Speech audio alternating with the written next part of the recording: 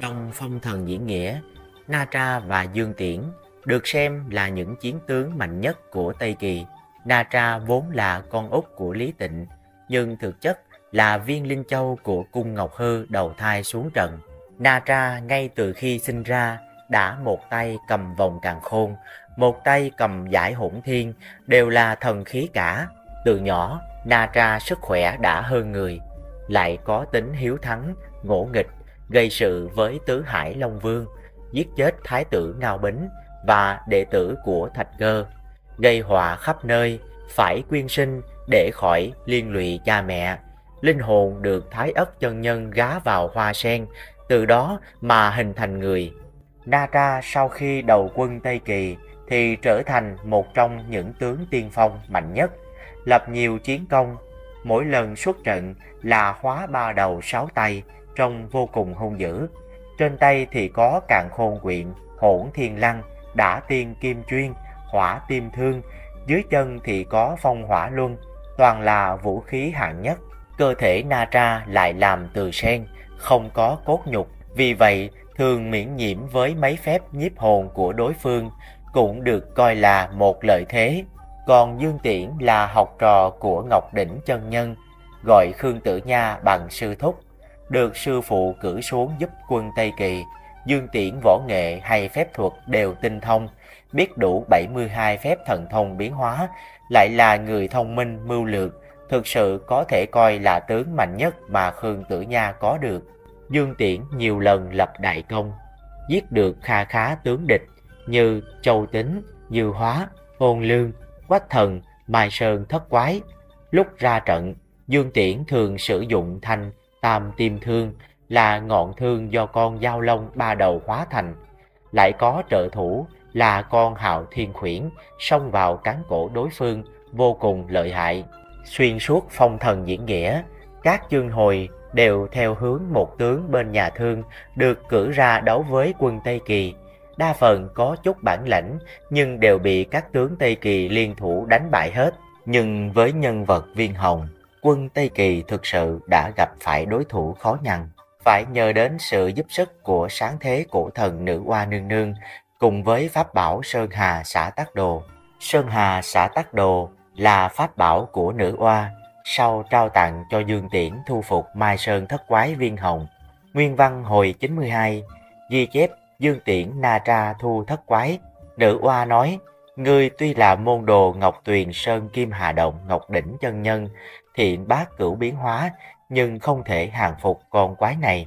Ta mang bảo vật này trao cho ngươi, để có thể thu phục ác quái.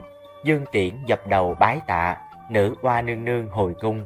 Dương Tiễn dùng bảo vật, trong lòng rất vui vẻ và đó chính là Sơn Hà xã Tác Đồ. Trong hệ thống tiểu thuyết Hồng Hoang, Sơn Hà xã Tác Đồ và Hồng Tú Cầu đều là một trong thập đại cực phẩm tiên thiên linh bảo. Đồ này bên trong có chứa thiên địa, tẩm bổ thiên nhân, có thể hóa sinh vạn vật, là một chí bảo, khác với các pháp bảo có tính chất công kích, hoặc là phòng ngự, hoặc là công thủ. Sơn Hà xã Tắc Đồ ghi chép hướng đi địa mạch của Hồng Hoang Sơn Thủy là Hồng Hoang Địa Đồ.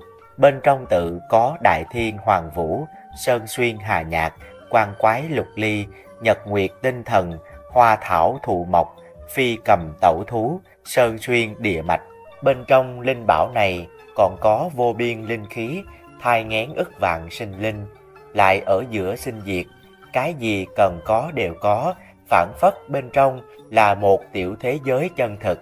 Chỉ cần vào trong đó, dù là Đại La Kim Tiên, cũng chỉ có thể mặc cho chủ nhân của đồ này chà đạp, không có cơ hội phản kháng.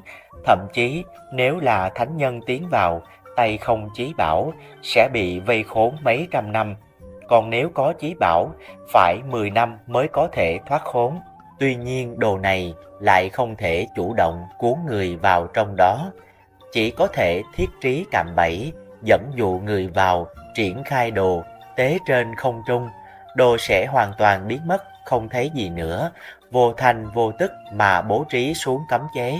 Chỉ cần vào trong đó, dù là Đại La Kim Tiên, cũng chỉ có thể mặc cho chủ nhân của đồ này chà đạp, không có cơ hội phản kháng, Thậm chí nếu là thánh nhân tiến vào, tay không chí bảo, sẽ bị vây khốn mấy trăm năm. Còn nếu có chí bảo, phải 10 năm mới có thể thoát khốn.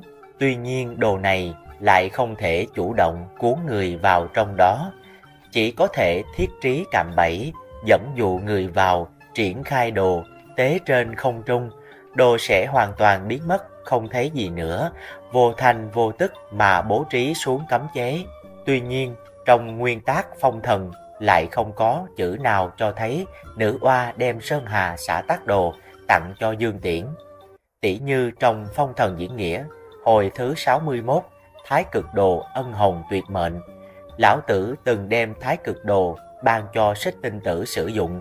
Thái cực đồ cũng không đổi chủ. Lại nói Dương Tiễn lên Mai Sơn quan sát tứ phía một lần. Chợt nghe dưới vách núi có một âm thanh vang lên. Trăm ngàn khỉ con thoát ra, tay cầm côn bổng, lao nhau chạy đến loạn đả Dương Tiễn. Dương Tiễn dùng sơn hà xả tác đồ mà nữ oa nương nương ban cho, biến hóa ra núi ấy. Viên hồng gặp phải núi, tức khắc lọt bẫy, lại không thể xuống núi.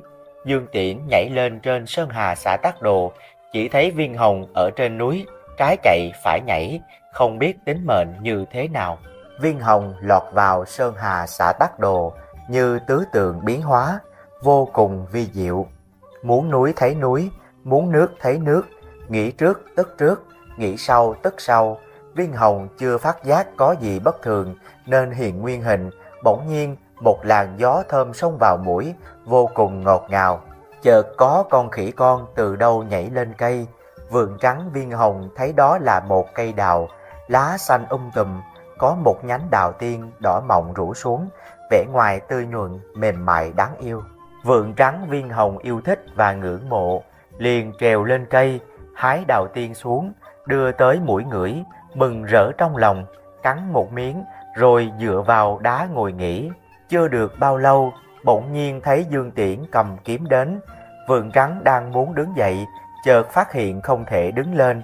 Y không biết là do đã ăn đào này, cho nên không thể đứng nổi. Sớm bị Dương Tiễn một phát bắt được, dùng dây trói yêu trói lại, thu vào Sơn Hà xã Tắc Đồ. Dương Tiễn nhìn về hướng chính nam, cảm tạ nữ oa nương nương, mang vượng trắng về chu doanh. Có thơ đơn khen nữ oa nương nương cho Dương Tiễn bí pháp bắt Mai Sơn thất quái như sau. Ngộ đạo đầu sư tại Ngọc Tuyền, bí đầu cửu chuyển diệu huyền trung, ly long khảm hổ phân Nam Bắc, địa hộ đại môn liệt hầu tiên, biến hóa vô đoan hoàng biến hóa, càng khôn điên đảo, hợp càng khôn, nữ oa bí thụ chân kỳ dị, nhâm nhĩ tinh linh cốt dĩ xuyên. Viên hồng vốn là nguyên soái cuối cùng của nhà thương, kẻ đứng đầu Mai Sơn thất quái. Đúng là khí số nhà thương đã hạn, đến những phút cuối, triều đình không còn nhân tài, phải để đám yêu quái lên làm nguyên soái. Mai Sơn thất quái là nhóm bảy con yêu quái tu luyện lâu năm ở Mai Sơn, bao gồm Viên Hồng, vốn là con khỉ trắng tu luyện thành tinh, sau khi chết được phong tứ phế tinh, trừ tử chân là lợn nòi tu luyện thành tinh, sau khi chết được phong phục đoạn tinh. Dương Hiển là dê trắng tu luyện thành tinh, sau khi chết được phong phản ngâm tinh. Thường Hạo là con rắn tu luyện thành tinh, sau khi chết được phong đao châm tinh. Ngô Long là con rết tu luyện thành tinh, sau khi chết được phong phá tối tinh. Đại Lễ là con sói tu luyện thành tinh, sau khi chết được phong hoáng vô tinh. Kim Đại Thăng là con trâu tu luyện thành tinh, sau khi chết được phong thiên ôn tinh.